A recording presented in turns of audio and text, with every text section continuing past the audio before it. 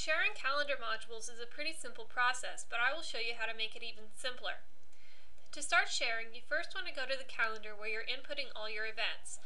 In this case, I have it on a page called Events. Now we want to go to the Settings menu on this calendar.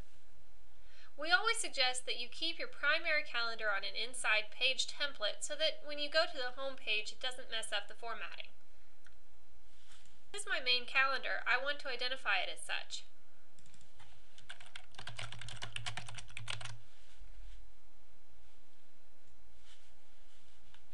We can share it. Again, we go to the Settings menu. From here, we want to go to Sharing.